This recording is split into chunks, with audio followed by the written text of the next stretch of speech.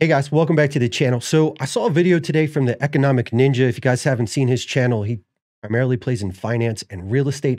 And I really like the guy. Like he's entertaining, he's very upbeat, he's got a lot of energy. He's the absolute antithesis of me and my sort of calm run the middle of the road demeanor. But he referenced an article on the housing market out of the Zero Hedge. And you know I love the Zero Hedge. So let's run over there. So he referenced this US pending home sales crash by most on record. Existing home sales crashed, but new home sales rebounded in November, which leaves today's pending home sales as the deciding vote in just how apparently dismal the US housing market really is. I'm not saying that the housing market isn't slowing and things aren't coming to a halt, but I think really what we're seeing is stagflation. And I don't think this article entirely nails it because what it what he in particular in the video didn't reference is the state of the inventory for the US housing market. People are still buying homes. Like I'm very close with a lot of realtors here. I see people buying stuff. It's still happening. It's not like transactions aren't going on. No, they aren't at the euphoric, prismic, absolute peak that we saw back over the summer. Things have come down to more of a normal level. But I really believe a lot of this can be caused by inventory. Here are Trading Economics United States total housing inventory. This is for this year. Naturally, in January and February, super low. We saw a spike up in the summer, which is the US housing selling season. What happens? It happens in the spring, and it happens in the summer, and then things slow through the winter because people don't want to have to dork around with cold snow and other stuff, people traipsing in their house. People don't want to go out and look at houses when it's cold. Like you want to get out and you want to do it when it's warm and all that kind of stuff. So we have a selling season. This chart reflects that. Also, take a look at this tail end that's fallen off here. Here's October, and into November. It dropped off a friggin' cliff. Like there are no houses for sale. Let's run over here and look at this stats one. Or sorry, we are in the stats one. Let's look at the summary one, which makes it a little bit bigger. So we can see that month over month, the houses that are for sale are dropping. And this isn't a relatively new trend. We are short houses in this country. Let's take a look. Here's the 25 year average or 25 year historical chart.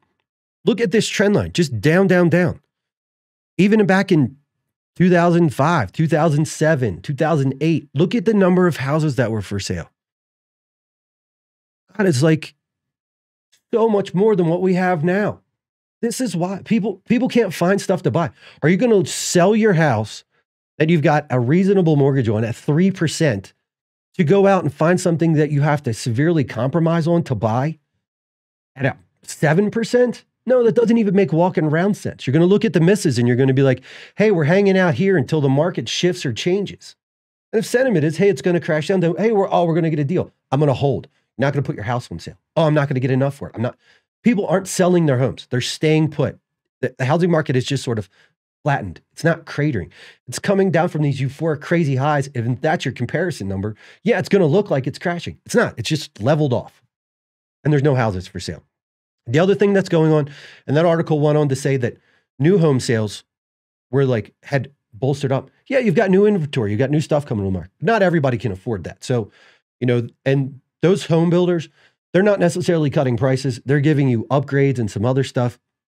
But there's more inventory there. There's new stuff coming on the market. It's interesting, it's exciting, it's something somebody wants to move into.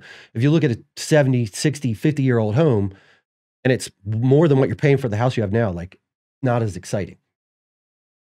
U.S. housing starts slowed to an annual pace of 1.427 million last month from 1.43. So not a massive drop, uh, and there was 1.49 in September.